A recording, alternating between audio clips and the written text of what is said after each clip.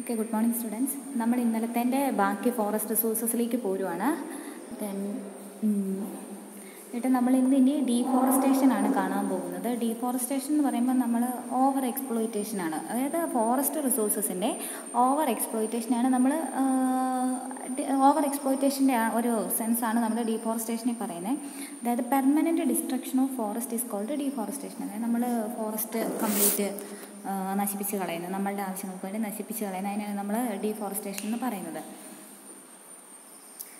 Then ഡീഫോറസ്റ്റേഷന്റെ കാരണങ്ങൾ. എന്ത്? Causes of deforestation കുറച്ച് കാരണങ്ങൾ പറഞ്ഞിട്ടുണ്ട്. First one population explosion population explosion എന്ന് ഉദ്ദേശിക്കുന്നത് നമ്മുടെ എന്താ ജനസംഖ്യാ വർധനവ് വർദ്ധിച്ചു വരുന്ന ജനസംഖ്യ. അപ്പം അങ്ങനെ വന്നു കഴിയുമ്പോൾ ആൾക്കാർക്ക് ജീവിക്കാൻ ആവശ്യത്തിന് സ്ഥലമില്ലാതെ വീട് വയ്ക്കാൻ എത്രയാണെങ്കിലും ഒരാൾക്ക് വീട് വെച്ച് താമസിക്കാൻ ഒരു ഷെൽട്ടർ വേണമല്ലോ. അപ്പോൾ അതിനുള്ളതില്ലാതെ വരുമ്പോൾ പോലും നമ്മൾ കൂടുതലായിട്ട് നമ്മുടെ എന്താ നമ്മുടെ ഫോറസ്റ്റ് റിസോഴ്സസ് കൂടുതലായിട്ട് യൂസ് ചെയ്യും. നമ്മൾ ആ സ്ഥലം കൂടെ എടുത്ത് നമ്മൾ ഷെൽട്ടർ ഫെസിലിറ്റീസ് അറേഞ്ച് ചെയ്യുന്നു. പിന്നെ അത് മാത്രമല്ല അങ്ങനെ വന്നു കൂടുതലായിട്ട് ഒരു മനുഷ്യന് ജീവിക്കാൻ വേണ്ട ആവശ്യമായിട്ടുള്ള കാര്യങ്ങൾ റിസോഴ്സസിനെ നമ്മൾ ഫോറസ്റ്റ് നമുക്ക് പ്രൊവൈഡ് ചെയ്യുന്ന കുറേ കാര്യങ്ങളെക്കുറിച്ച് നമ്മൾ കഴിഞ്ഞ ക്ലാസ്സിൽ പറഞ്ഞിരുന്നല്ലോ. അതിനെല്ലാത്തിനും വേണ്ടി നമ്മൾ ഈ പോ ഈ വർദ്ധിച്ചു വരുന്ന പോപ്പുലേഷൻ ഇൻക്രീസ്ഡ് പോപ്പുലേഷൻ ഫുള്ള് ഫോറസ്റ്റിനെ ഡിപ്പെൻഡ് ചെയ്യും. അത് പ്രശ്നമാവും തന്നെ അടുത്ത ഷിഫ്റ്റിംഗ് കൾട്ടിവേഷൻ ഷിഫ്റ്റിംഗ് കൾട്ടിവേഷൻ എന്ന് ഉദ്ദേശിക്കുന്നത് ഈ അത് കുറച്ചും കൂടി ഒരു ട്രൈബൽ അല്ലെ ഒരു എന്താ പറയുക വളരെ ക്ലോസ്ഡ് കമ്മ്യൂണിറ്റിയുടെ ഇടയിൽ കാണപ്പെടുന്ന ഒരു ടെൻഡൻസിയാണ് ഈ ഷിഫ്റ്റിംഗ് കൾട്ടിവേഷൻ അതായത് അവർ ഈ ഫോറസ്റ്റ് ഏരിയയിൽ താമസിച്ചിട്ട് ഒരു ഒരു സ്ഥലത്ത് അവർ താമസിക്കും. അവിടെയുള്ള സാ റിസോഴ്സസിനെയൊക്കെ യൂസ് ചെയ്ത് അവരവിടെ സർവൈവ് ചെയ്ത് കുറച്ച് കഴിഞ്ഞ് അവിടുത്തെ റിസോഴ്സസ് തീർന്നു കഴിയുമ്പോൾ അവർ അടുത്ത സ്ഥലത്തേക്ക് പോകും. അതായത് ചെയ്തെടുത്ത് തന്നെ വീണ്ടും വീണ്ടും കൃഷി ചെയ്യുകയോ അല്ലെങ്കിൽ അങ്ങനെ ഒരു അതൊന്നും അല്ല ചെയ്യുന്നത്. അവരവിടെ കൃഷി ചെയ്തു കുറച്ച് നാൾ നിന്ന് കഴിഞ്ഞിട്ട് പിന്നെ അവിടെ നിന്ന് അവരുദ്ദേശിക്കുന്ന പോലെ വിളവ് കിട്ടുന്നില്ല ആവശ്യത്തിനുള്ളതൊന്നും കിട്ടുന്നില്ലെങ്കിൽ അവരത് അവിടെ ആ സ്ഥലം അവിടെ ഉപേക്ഷിച്ചിട്ട് അവർ അടുത്ത സ്ഥലത്തേക്ക് പോകും. അപ്പോൾ അതുവരെ നടന്ന മുഴുവൻ വിളവൊക്കെ എടുത്തതുകൊണ്ട് ആ മണ്ണൊക്കെ ഇങ്ങനെ എന്താ പറയുന്നത് ഒരു തരിശ് പോലെ അങ്ങനെ ഒരു വേസ്റ്റായി പോവാണ് സാധാരണ രീതി ചെയ്യുന്നത്. അപ്പം അത് ഒഴിവാക്കുക. അത് ഷിഫ്റ്റിംഗ് കൾട്ടിവേഷനും ഡീഫോറസ്റ്റേഷന്റെ കാരണമാണ്. Then growing food demand food നമ്മൾ പോപ്പുലേഷൻ ഗ്രോത്ത് വരുന്ന കൂടുന്നതനുസരിച്ച് ഫുഡ് ഡിമാൻഡും കൂടിക്കൊണ്ടിരിക്കും. ദെൻ ഫയർ വുഡ് തീ കത്തിക്കാൻ വേണ്ടി കൂടുതൽ എടുക്കുക. Then raw material for wood based industries അതായത് നമ്മുടെ ഈ തീപ്പെട്ടി കമ്പനി അല്ലെ ഫർണിച്ചർ കമ്പനീസ് അങ്ങനെയൊക്കെ ഉള്ളവർക്ക് വേണ്ടി അവർ റോ മെറ്റീരിയലായിട്ടും ഈ വനത്തിൽ നിന്നുള്ള തടീനെ കൂടുതലായിട്ട് യൂസ് ചെയ്യും. ദെൻ ഇൻഫ്രാസ്ട്രക്ചർ ഡെവലപ്മെന്റ് അതായത് നമ്മളുടെ ഒരു ഇൻഫ്രാസ്ട്രക്ചർ ഡെവലപ്മെന്റിന് വേണ്ടി നമ്മളിപ്പോൾ ഒരു ഒരു ലെങ്തി ആയിട്ടുള്ള ഒരു റോഡ് നിർമ്മിക്കണം. അതൊരു ഫോറസ്റ്റിന്റെ ഉള്ളിൽ കൂടെയാണ് പോകുന്നതെങ്കിൽ നമ്മൾ ആ ഫോറസ്റ്റിന്റെ ഉള്ളിൽ കൂടെയല്ലേ കടന്നു പോകുന്നത്. അപ്പോൾ അങ്ങനെ വരുമ്പോഴത്തേക്ക് അത്രയും ഭാഗത്തെ ഫോറസ്റ്റ് അവിടുത്തെ വൈൽഡ് ലൈഫ് ഹാബിറ്റാറ്റ് അതൊക്കെയാണ് അവിടെ നഷ്ടപ്പെട്ടു പോണേ. അതാണ് ഈ ഒരു ഇൻഫ്രാ ഒരു റോഡ് പോലെയുള്ള സംഭവങ്ങൾ അങ്ങനെയുള്ള ഇൻഫ്രാസ്ട്രക്ചർ ഡെവലപ്മെന്റ് നമ്മൾ കൺസിഡർ ചെയ്യുന്നത്. ഇപ്പോൾ ആദ്യത്തെ ഫിഗർ ഞാൻ കൊടുത്തിരിക്കുന്ന ഇൻഫ്രാസ്ട്രക്ചർ ഡെവലപ്മെന്റിന്റെയാണ് കേട്ടോ. ദെൻ രണ്ടാമത് ഫോറസ്റ്റ് ഫയർ അതായത് കാട്ടുതീ. പറയണ്ടായിരിക്കുള്ളൂ ഇപ്പോൾ തന്നെ നിങ്ങൾ വളരെ റീസെന്റ് ആയിട്ട് കേട്ടു. ആമസോണിലെ കാട്ടുതീ ഫോറസ്റ്റ് ഫയറിനെ കുറിച്ച് നിങ്ങൾ കേട്ടിരുന്നു. വൈൽഡ് വൈൽഡ് ഫയർ അപ്പോൾ അതിനെക്കുറിച്ച് നമ്മൾ കേട്ടിരുന്നു. ഞാൻ ആദ്യം ഡീഫോറസ്റ്റേഷന്റെ അവിടെ കാണിച്ചിരുന്ന ആ പടവും ആമസോണിന്റെ പണ്ടത്തെ ഫോറസ്റ്റും പിന്നെ അത് വെച്ചാൽ ഡീഫോറസ്റ്റേഷന്റെ ഒരു എക്സാക്റ്റ് എഫക്റ്റാണ് കാണിച്ചത്. ഒരു സൈഡിൽ ഫോറസ്റ്റ് അതേപടിയും ഇപ്പുറത്തേക്ക് വന്നിട്ട് ഫോറസ്റ്റ് ഇങ്ങനെ കട്ട് ചെയ്ത് കട്ട് ചെയ്ത് കളഞ്ഞിരിക്കുന്നതാണ് ഡീഫോറസ്റ്റേഷൻ സംഭവിച്ചത്. അത് ആമസോൺ ഫോറസ്റ്റിന്റെ ഒരു ഫിഗറാണ് കേട്ടോ അത്. ദെൻ ഫോറസ്റ്റ് ഫയറിനെ കുറിച്ച് പറയേണ്ടതല്ല. Then over grazing over grazing എന്ന് ഉദ്ദേശിക്കുന്നത് നമ്മുടെ ഈ ഈ കന്നുകാലീനെ പോത്ത് ആട് പശു ഇങ്ങനെയൊക്കെയുള്ള സാധനങ്ങളൊക്കെ ഉണ്ടല്ലോ. നമ്മുടെ നോർത്തേൺ സൈഡിലേക്ക് വെച്ച് കഴിയുമ്പോൾ വേറെ ഏതാണ്ട് കുറേ ജീവികളും കൂടെയൊക്കെ ഉണ്ടല്ലോ. അപ്പോൾ ഇങ്ങനെയുള്ള ജീവികളെല്ലാം മേയാൻ വേണ്ടി വിട്ട് കഴിയുമ്പം അവിടെയുള്ള പുല്ല് ഇത് ഇവരിങ്ങനെ കൂടുതലായിട്ട് തിന്ന് തിന്ന് തിന്ന് തീർക്കും. തീർത്ത് കഴിയുമ്പോഴത്തേക്കും തന്നെ അവിടുത്തെ സോയിൽ നമ്മുടെ ഈ എയറുമായിട്ട് ഡയറക്റ്റ് എക്സ്പോഷറിലേക്ക് വരും. അങ്ങനെ വന്നു കഴിയുമ്പോഴത്തേക്കും ഈ soil erosion by fire by water by air രണ്ട് കൺസെപ്റ്റ് ഉണ്ട് കേട്ടോ. എയർ എന്ന് ഉദ്ദേശിച്ച് കഴിഞ്ഞാൽ നമ്മുടെ ഈ മരുഭൂമിയിലൊക്കെ കാറ്റ് വീശുമ്പം നീ സിനിമയിലൊക്കെ കണ്ടിട്ടുണ്ടല്ലോ ഈ മണ്ണ് ഇങ്ങനെ പൊങ്ങി പറക്കുന്നത് അങ്ങനെ ഈ സോയിൽ ഇറോഷൻ ബൈ വിൻഡ് അപ്പോൾ ഇങ്ങനെ ഈ കാറ്റടിച്ച് മണൽ ഒരു സൈഡിൽ നിന്ന് വേറെ സ്ഥലത്തേക്ക് പറന്ന് മാറി പോവുകയൊക്കെ ചെയ്യും. അതും സോയിൽ ഇറോഷനായിട്ട് തന്നെയാണ് കൺസിഡർ ചെയ്യുന്നത്. അപ്പോൾ ഈ ഓവർ ഗ്രേസിങ് അതിനൊക്കെയുള്ള ഒരു റീസൺ ആകാറുണ്ട്. പിന്നെ അതുപോലെ തന്നെ വേറെ ഒന്നും പറഞ്ഞിരിക്കുന്നതാണ് ഡെസേർട്ടിഫിക്കേഷൻ ഡെസേർട്ടിഫിക്കേഷൻ എന്ന് ഉദ്ദേശിക്കുന്നത് മരുഭൂമിയായിട്ട് കൺവേർട്ട് ചെയ്യപ്പെടുന്ന ഒരവസ്ഥ. അതാണ് കേട്ടോ then natural forces natural forces മെയിനായിട്ട് flood storm heavy winds snow light അതായത് നമ്മൾ ഈ നാച്ചുറൽ ആയിട്ടുള്ള ഇമ്പാക്റ്റ് അതിവിടെ ഈ രണ്ടാമത്തെ പടം കാണിച്ചിരിക്കുന്ന അങ്ങനെയുള്ള എന്തോ ഒരു സംഭവത്തിന്റെ മൊത്തമൊന്നും എനിക്ക് മനസ്സിലായില്ല. ആ പടം എനിക്ക് മനസ്സിലായില്ല.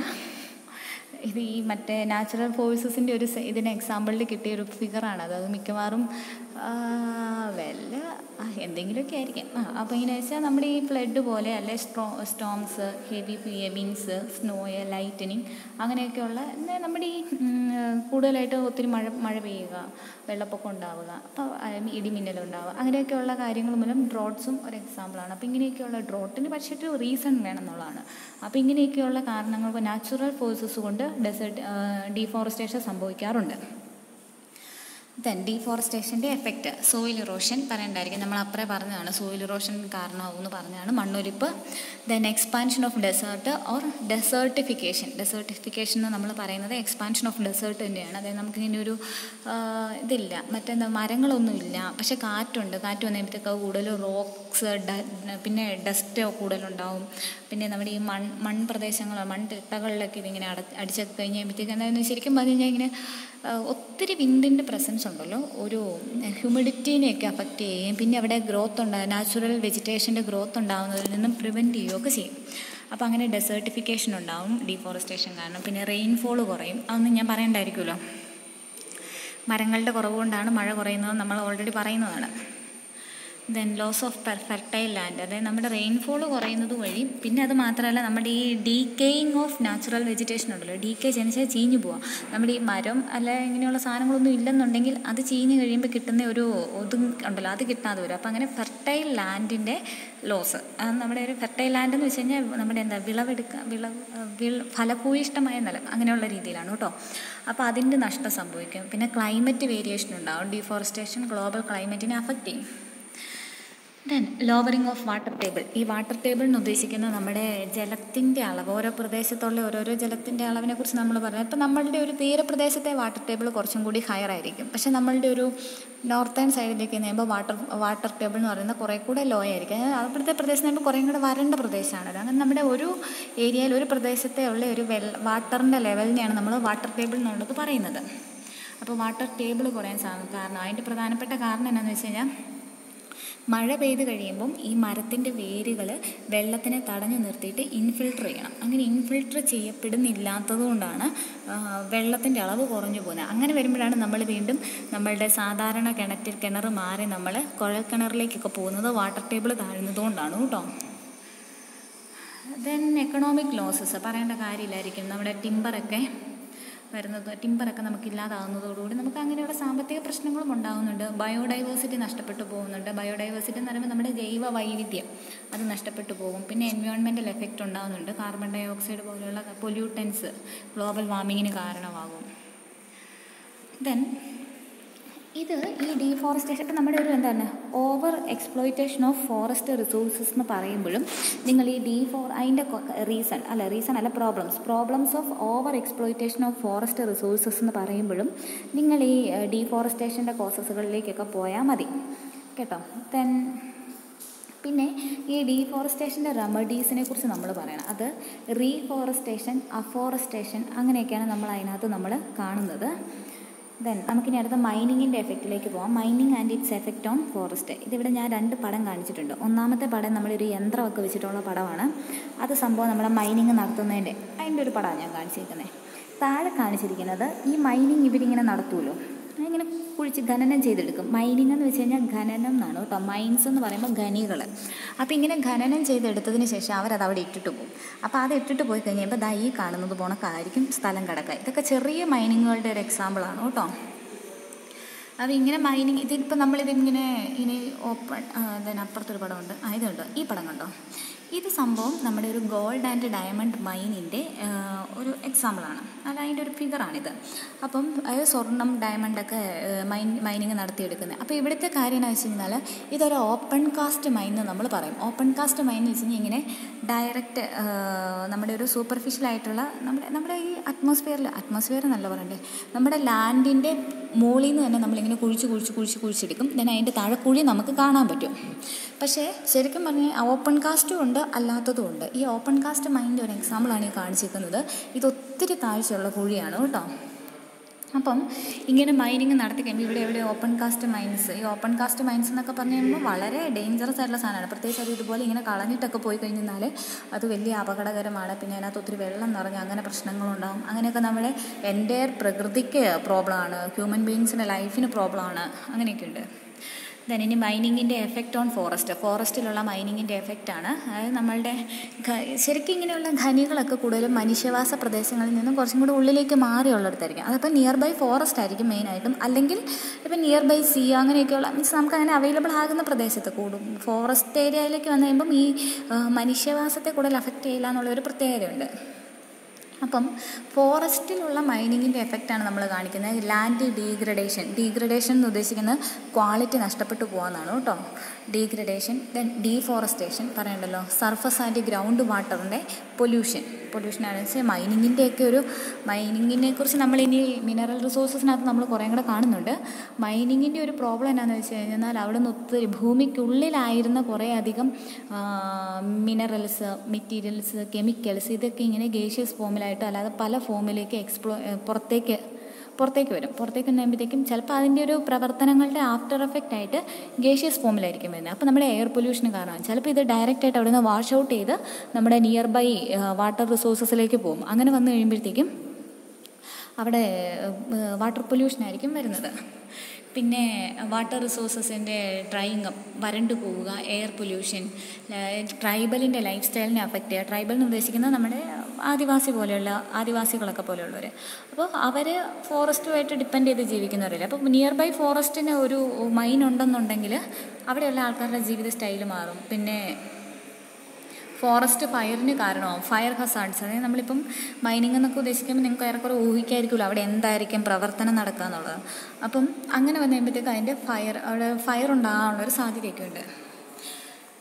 ദെൻ ഇതാണ് മൈനിങ്ങിന്റെ എഫക്റ്റ് ഓൺ ഫോറസ്റ്റ് ഫോറസ്റ്റിലുള്ള മൈനിങ്ങിന്റെ എഫക്റ്റിനെ കുറിച്ച് മാത്രമാണ് കേട്ടോ നമ്മൾ പറയുന്നത്. ബാക്കി മിനറൽ റിസോഴ്സസിനകത്ത് ഡീറ്റെയിൽ ആയിട്ട് നമുക്ക് ജസ്റ്റ് ഒരു മൈനിങ്ങിനെ കുറിച്ച് പഠിക്കാനുണ്ട്. പക്ഷേ എന്തായാലും ഓപ്പൺ കാസ്റ്റ് മൈൻ എന്താണെന്ന് നിങ്ങൾക്ക് മനസ്സിലായി കാണില്ല? അപ്പോൾ ഈ ഓപ്പൺ കാസ്റ്റ് മൈന് പല രീതിയിലുള്ള പ്രോബ്ലംസ് ഉണ്ടാക്കുന്നുണ്ട് കേട്ടോ. ദെൻ ഇനി ഇതല്ലാതെ നിങ്ങൾക്ക് ഡാമിന്റെ എഫക്റ്റിനെ കുറിച്ച് പഠിക്കാനുണ്ട്.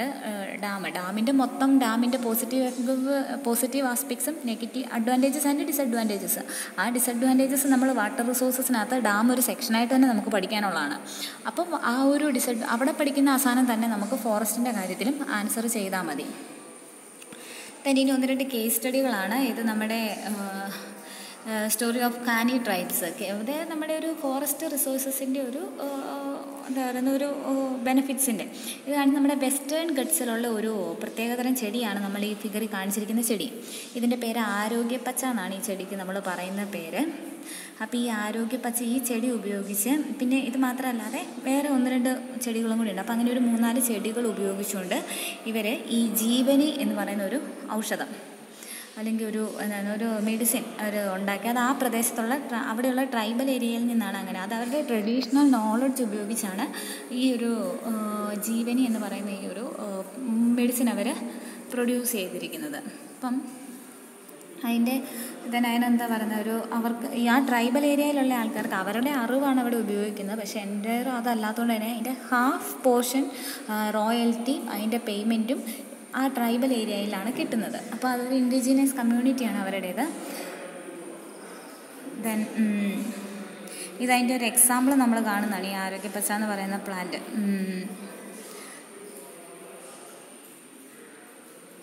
it sudden flush of energy and strength അതിനുവേണ്ടിയാണ് അങ്ങനെ ആ ഒരു ജീവനി എന്ന് പറയുന്ന ആ ഒരു പ്രോഡക്റ്റ് യൂസ് ചെയ്യുന്നത്.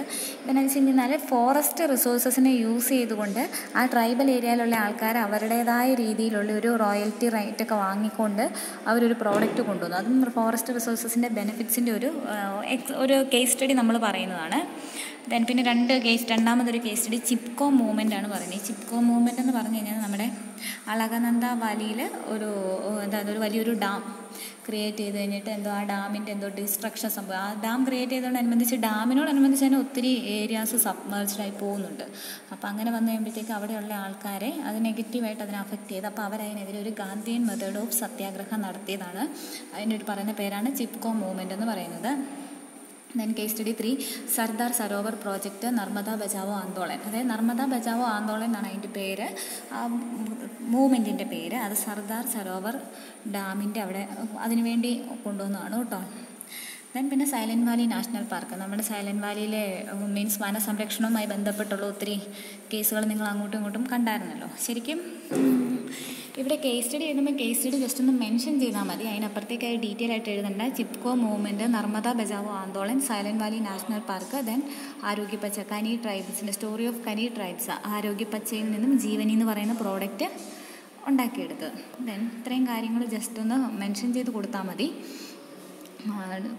ഇതിന്റെ കേസ് സ്റ്റഡി ആയിട്ട്. ദെൻ ഇനി ഇതിനകത്ത് നമുക്ക് ഡാമിന്റെ എഫക്റ്റാണുള്ളത് അത് ഞാൻ വാട്ടർ റിസോഴ്സസ് വന്നു കഴിയുമ്പോൾ അവിടെ ഡാമെന്നും പറഞ്ഞ് ഒരു ഡേയുടെ ക്ലാസ്സുകളുണ്ട് അതങ്ങ് എടുത്താൽ മതി.